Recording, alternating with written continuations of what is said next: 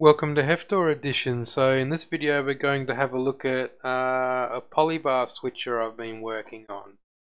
So I got the request from a couple of guys in the Hefftor Telegram channel.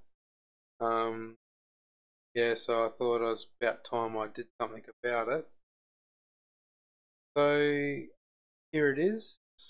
Oops, didn't mean to close it. I'll open have to open it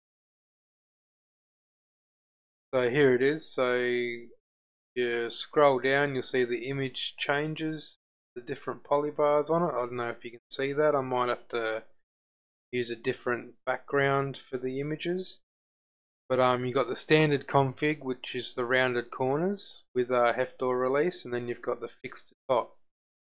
So if we select the standard config, our polybar will change. There we go. So now we've got the rounded corners or we can select the fix the top change that polybar back. So it all seems to be working alright. I just need to package it and uh, roll it out on my test repo for people to um, test basically.